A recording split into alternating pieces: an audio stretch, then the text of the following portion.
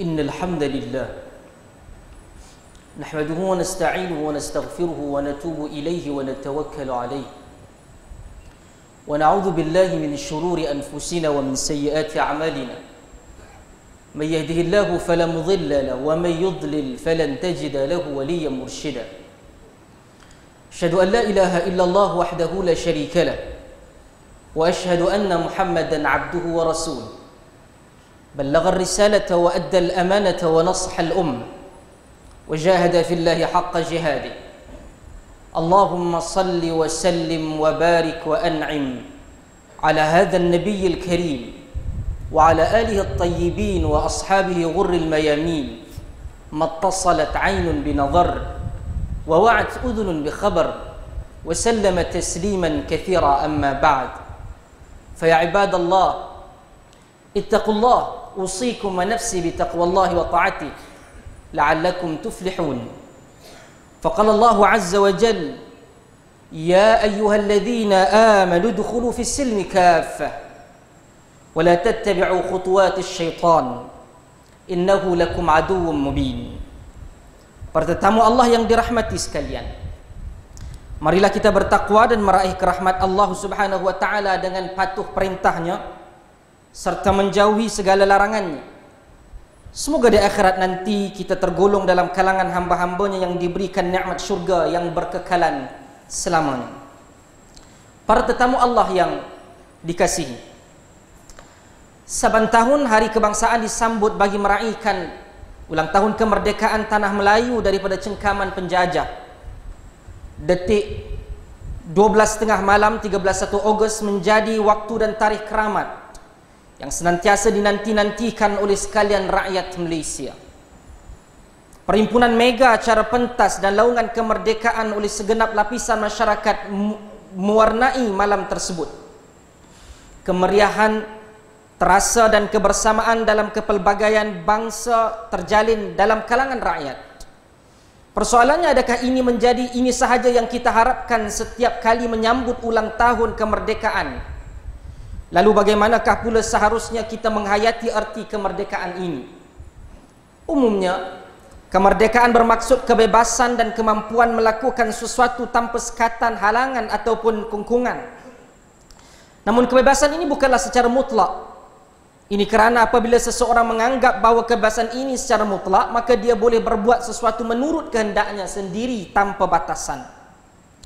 Ini akan merosakkan tanah air dan rakyatnya sendiri oleh itu negara mempunyai undang-undang bagi mengawal kebebasan yang keterlaluan. Islam juga menggariskan batas-batas dalam akidah maupun syariat bagi mengawal kebebasan umatnya. Ternyata batas tersebut telah memerdekakan seseorang yang daripada kepercayaan dan pemikiran yang songsang, ibadat yang terpesong serta akhlak yang buruk. Ketahuilah kemerdekaan yang hakiki adalah apabila manusia hanya mengikut petunjuk dan menyerahkan diri hanya kepada Allah Subhanahu wa taala. Islam tidak pernah menyekat kebebasan manusia, bahkan Islam mendorong agar kebebasan tersebut digunakan bagi mencapai redha dan rahmat Allah Subhanahu wa taala. Dan apabila Nabi sallallahu alaihi wasallam diutuskan oleh Allah Subhanahu wa taala ke muka bumi. Antara perkaranya yang dibawa oleh baginda adalah baginda membebaskan manusia daripada perhambaan manusia sesama manusia. Mekah ketika itu dipenuhi oleh manusia yang menjadikan hamba Allah yang lain sebagai hamba yang dipegang dan dikongkong. Apabila Nabi sallallahu alaihi wasallam yang dianggap sebagai al-amin satu julukan dan juga perlambangan yang tidak mungkin dapat diberikan kepada masyarakat Arab ketika itu. Bangkit dan membebaskan beberapa watak-watak yang besar di dalam Islam. Kita dapat melihat apabila kita menyoroti kembali sejarah para sahabat radhwanullah alaihim ajma'in. Bagaimana Bilal bagaimana mereka yang berada di, di Mekah itu yang dipanggil sebagai muhajirun mereka mempunyai nilai yang begitu besar terutamanya apabila peperangan badar mereka balik semula daripada Madinah bagi bertembung dengan sebahagian di kalangan ahli keluarga mereka. Ia mungkin menjadi tidak begitu besar bagi Ansar. Tetapi besar bagi Muhajirun. Apabila Muhajirun balik semula ke kampung mereka. Namun ada di antara di sana sejarah yang pernah saya ulangi di atas mimbar ini. Apabila Nabi sallallahu alaihi wasallam tidak hanya melahirkan generasi sahabat. Sahabat adalah mereka seperti yang ditafsirkan ataupun yang ditarifkan oleh para ulama hadis sebagai malaqiyan Nabi sallallahu alaihi wasallam wa amana bihi wa mata wa mata ala iman. Mereka yang pernah melihat dan bertemu dengan Nabi sallallahu alaihi wasallam. Peristiwa subutul luqya berlakunya pertemuan ini adalah sangat penting dengan keberkatan pertemuan itu dengan Nabi sallallahu alaihi wasallam. Maka mereka yang bertemu dengan Nabi walaupun dalam keadaan sedetik ataupun dua detik dan kemudian terputus daripadanya pertemuan itu dengan Rasulullah sallallahu alaihi wasallam dan kekal beriman dengan Allah dan Rasulnya dan mati di dalam Islam ianya dipanggil sebagai sahabat dan kemudian ada generasi yang menjadi anak-anak murid kepada sahabat ia tidak cukup hanya bertemu ia perlu adanya mulazamatur mulazamatus sahabat radhiyallahu anhum ajma'in. Mereka mesti bersama. Maka generasi-generasi yang datang selepas daripada itu tidak mendapat pendidikan dan tarbiyah yang sama seperti sahabat. Tetapi keberkatan mereka mengikuti ajaran Rasul sallallahu alaihi wasallam menjadikan mereka bebas jiwanya kalau kita melihat bagaimana walaupun riwayat itu diperselisihkan di kalangan para ulama hadis apabila Salmanul Farisi melihat Omar bangkit di atas mimbar selepas mana Omar memberikan setiap daripada rakyatnya bantuan baju seorang sehelai namun Salman melihat di sisi Omar adanya dua helai baju menyebabkan apabila Omar berdiri dan menyatakan as-sam'u wa ta'ah dengar dan taat Salman menyatakan la sam'a wa la ta'ata. Tidak ada dengar dan tidak ada taat melainkan engkau wahai Amirul Mukminin memberitahu aku mengapa di sisimu ada dua helai baju. Menyebabkan ketika itu Umar menyatakan mahlan mahlan ya Salman nanti dulu nanti dulu dan apabila dibawa Umar Abdullah bin Umar dan Abdullah bin Umar menyatakan bahawa bahagian aku aku berikan kepada ayahku kerana aku melihat bahawa ayahku tidak ada pakaian melainkan sehelai sahaja. Apabila kita ingin melihat bagaimana kemerdekaan jiwa para sahabat melihat kepada apa yang berlaku di hadapannya sesuatu yang salah ia tetap menyatakan yang benar. Ini tidak terhenti hanya kepada sahabat sesama mereka. Sebelum daripada itu, beberapa tindakan Nabi dipertanyakan. Sama ada tindakan yang diambil oleh Nabi itu wahyu daripada langit ataupun pandangan Rasulullah sallallahu alaihi wasallam. Ini yang menyebabkan generasi ini sahabat dan tabi'in adalah generasi yang terbaik.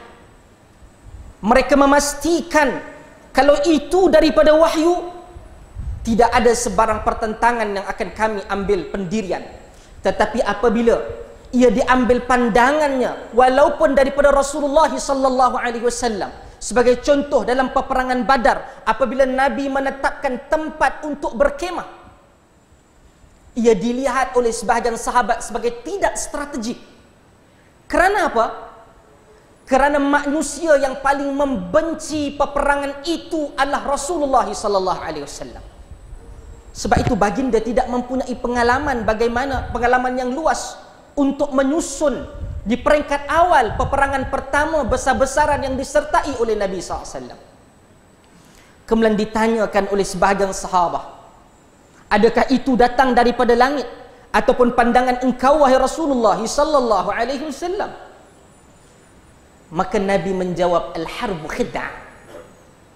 Peperangan itu adalah tipu daya strategi menyebabkan mereka mencadangkan supaya kawasan perkemahan orang Islam ketika itu mestilah melangkaui daripada telaga Badar kerana ketika peperangan mereka memerlukan kepada sumber air di dalam sejarah Islam yang besar apabila Omar mengambil pemerintahan Omar meluaskan ke barat dan juga ke timur pemerintahan Islam. Apabila dia hantar kepada Panglima Tentera Rustum, Panglima Tentera Islam berjumpa dengan Rustum Panglima Tentera Parsi. Apabila bertemu Parsi menggambarkan Arab adalah sebuah tamadun yang hampir-hampir tidak wujud apabila al-Imam Qatadah ibn Sadusi menyebutkan di dalam tafsiran dalam dalam dalam surat Ali Imran bagaimana Arab ini tidak makan bahkan dimakan bahkan hina. Mayatnya dibiarkan tidak diuruskan. Datanglah seorang panglima tentera Islam Rib'i bin Amr pergi bertemu dengan Rustum. Kalau apabila pada hari ini kemungkinan kita boleh gambarkan dua kuasa besar yaitu antara Rom dan Parsi sama ada Rusia ataupun Amerika Syarikat. Panglima tentera Islam ketika itu bertemu sebesar itu dengan mencabar mereka. Rustum menyatakan, apakah engkau datang untuk meminta makanan kerana sudah habis makananmu? Ribi'i bin Amir datang dengan pakaian yang terlalu biasa sebagai panglima tentera. Kerana Omar, siapa yang membaca pemerintahan Omar akan melihat bagaimana cukup sederhana Omar itu. Bahkan Omar adalah satu orang yang sangat sensitif tentang ahli tentang ahli pentadbirannya yang begitu mewah. Sehingga kalau kita boleh membaca Muawiyah Ibn Abi Sufyan salah seorang sahabat yang senior yang menulis Al-Quran untuk Nabi sallallahu alaihi wasallam memasang pengawal kerana untuk mengelakkan daripada serangan hendak daripada Rom ketika itu telah dimarahi oleh Umar maka ketika itu Rib'i bin Amir masuk dan mendengar sindiran tajam daripada panglima tentera Parsi iaitu Rustum. Dia dia satu orang yang cukup biasa. Lahir daripada sekolah dan madrasah Rasul sallallahu alaihi wasallam. Bercakap dengan penuh izzah dengan menyatakan Allahu bata'ana linukhrija man sya' wa min ibadati al-ibad ila ibadati Allah wahdah. Wa min jawri al-adyan ila al-'adl al-islam wa min dhiqid dunya ila si'atid dunya wal akhirah. Ini adalah pelambangan kemerdekaan jiwa yang tidak takut dan tidak tunduk kepada mana-mana kuasa melainkan untuk bercakap benar hakikatnya bercakap benar kepada musuh itu lebih mudah daripada untuk bercakap sesama kawan jawapan daripada Rib'i bin Amir Allahu bata'ana Allah yang mengutuskan kami. Linukhrija man sya' untuk mengeluarkan sesiapa yang Allah mahu. Wa min ibadatil ibad ila ibadatil ibadatillah wahdah. Daripada perhambaan sesama makhluk kepada perhambaan hanya kepada Allah. Wa min dhiqid dunya wa min jawril adyan daripada kekejaman agama-agama kepada keadilan Islam daripada kesempitan dunia kepada kesem, kepada keluasan dunia dan akhirat. Hadirin mukminin. Inilah yang berlaku apabila secara fizikal penjajahan itu berlaku dan Islam menjadikan meminta kepada kita untuk membebaskan diri kita. Ini adalah satu arahan. Apabila secara fizikal kita ditawan, kita dibejajah, ia akan merosakkan dan juga menghalang daripada agama ini berkembang. Dan ia adalah satu tuntutan kepada kita. Kaum muslimin yang dirahmati Allah. Jika dahulu penjajahan berlaku secara fizikal terhadap negara, namun kini umat Islam berhadapan dengan ancaman penjajahan pemikiran dan budaya. Datangnya tanpa disedari, namun semakin hari semakin meracuni akhlak pribadi. Lihat saja gaya hidup kini yang jauh dari petunjuk ilahi. Bersosial, berekonomi, bersukan, berfashion, berhibur dan segala aktiviti manusia yang mula menjauhi tuntutan Islam. Antara penyebab kepada gejala ini adalah berpunca daripada doktrin ke- kemodenan yang salah.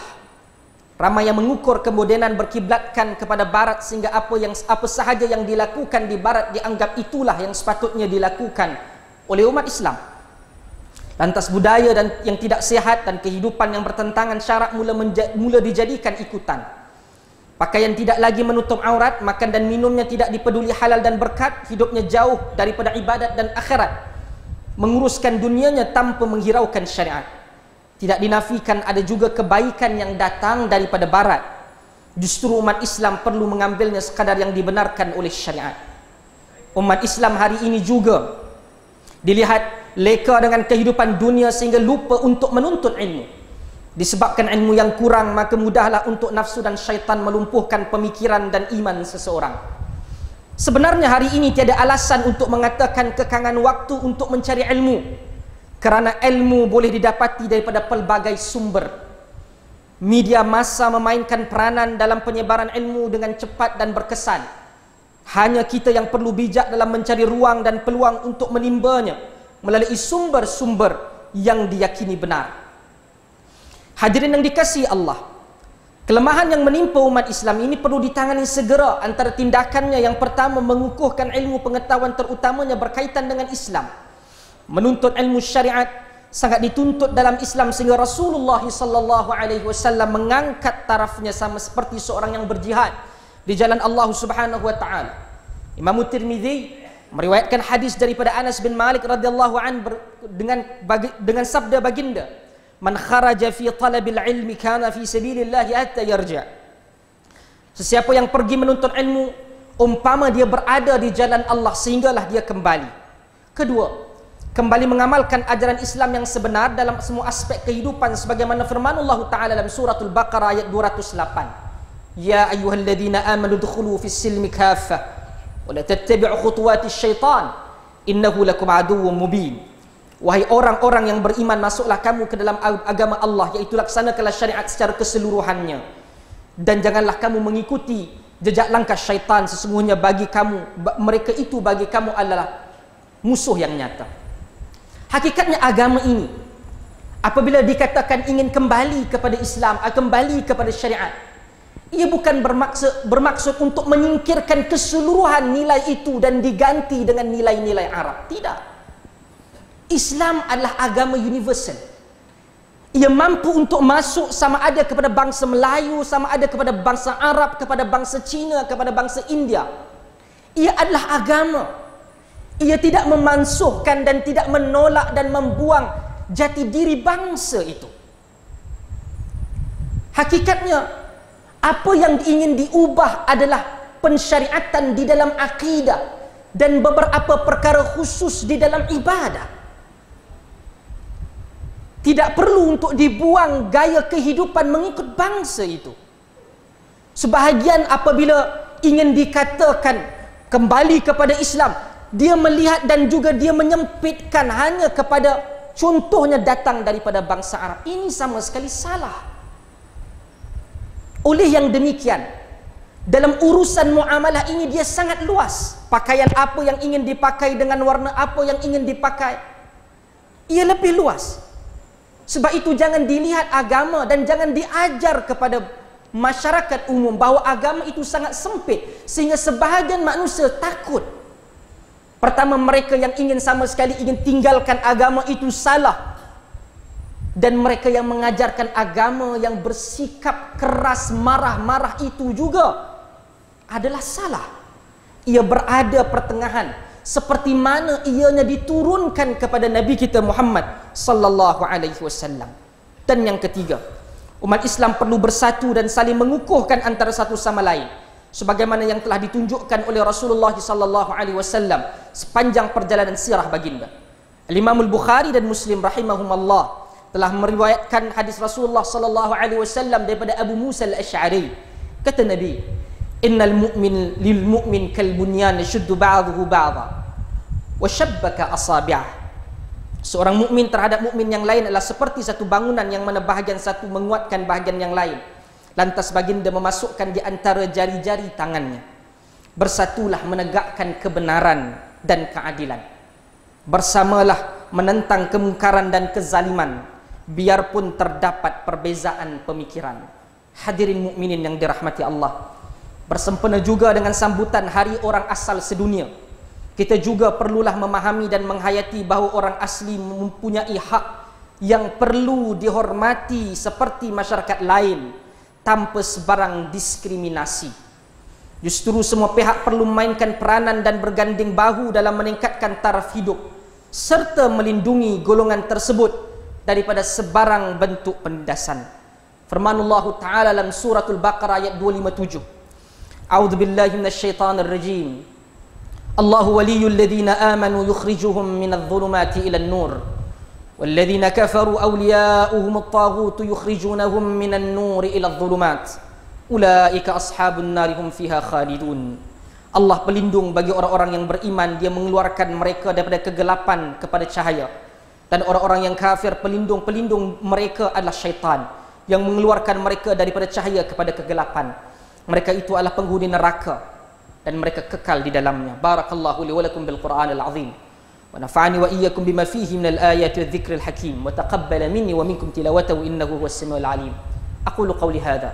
واستغفر الله العظيم لي ولكم ولسائر المسلمين والمسلمات والمؤمنين والمؤمنات الأحياء منهم والأموات فاستغفروه. إنه هو الغفور الرحيم.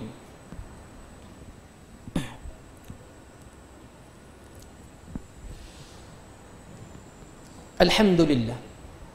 الحمد لله ولي الصالحين والعاقبة للمتقين ولا عدوان إلا على الظالمين.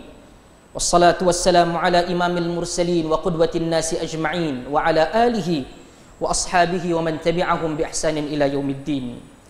أشهد أن لا إله إلا الله وحده لا شريك له. الحق الملك الحق المبين وأشهد أن محمدا عبده ورسوله صادق الوعد الأمين. أما بعد فيا عباد الله ittaqullah wa kunu ma'as sadiqin wa hafizu 'ala at-ta'ati wa hududil jum'ati ma'al musallin. Hadirin mukminin yang dirahmati Allah sekalian. Mimbar menyeru agar para jamaah menghulurkan sedekah jariah kepada tabung-tabung yang disediakan bagi tujuan melaksanakan aktiviti-aktiviti pengimarahan rumah Allah Subhanahu wa taala ini. Semoga sedekah itu akan dihitung oleh Allah sebagai sebahagian sedekah jariah yang pernah kita lakukan semasa hayat. Wa'lamu أن الله سبحانه وتعالى أمركم بأمر بدأ فيه بنفسه وثنى بملائكته المقربين. فقال الله تعالى مخبرا وآمرا بالمؤمنين إن الله وملائكته يصلون على النبي. يا أيها الذين آمنوا صلوا عليه وسلموا تسليما. اللهم صل على محمد وعلى آل محمد كما صليت على إبراهيم وعلى آل إبراهيم وبارك على محمد وعلى آل محمد كما باركت على إبراهيم وعلى آل إبراهيم في العالمين إنك حميد مجيد. وارض اللهم عن الأربعة الخلفاء الراشدين ساداتنا أبي بكر وعمر وعثمان وعلي وعن أزواج نبينا المطهرات وعن أهل بيته وقرابته وسائر الصحابة والتابعين ومن تبعهم بإحسان إلى يوم الدين وارض عنا برحمتك يا أرحم الراحمين. اللهم اغفر للمسلمين والمسلمات والمؤمنين والمؤمنات الأحياء منهم والأموات. وأيد اللهم بالتوفيق والهداية. مدبر هذه البلاد الإسلامية. ملكنا كبوه دولي yang maha mulia Seri Paduka Baginda yang di Pertuan Agung ke-15 Sultan Muhammad ke-5 اللهم أتل عمره مصلحا للموظفين والرعية والبلاد وبلغ مقاصده لطريق الهدى والرشاد اللهم اجعل ماليزيا وسائر بلاد المسلمين طيبة آمنة مطمئنة رخيّة يا رؤوف بالعباد. ربنا لا تزغ قلوبنا بعد إذ هديتنا وهب لنا من لدنك رحمة إنك أنت الوهاب. ربنا آتنا في الدنيا حسنة وفي الآخرة حسنة وقنا عذاب النار. عباد الله إن الله يأمر بالعدل والإحسان وإيتاء ذي القربى وينهى عن الفحشاء والمنكر والبغي يعظكم لعلكم تذكرون. فاذكروا الله العظيم يذكركم واشكروه على نعمه يزدكم. واسألوه من فضله يعتكم ولذكر الله أكبر والله يعلم ما تصنعون. أقيموا الصلاة.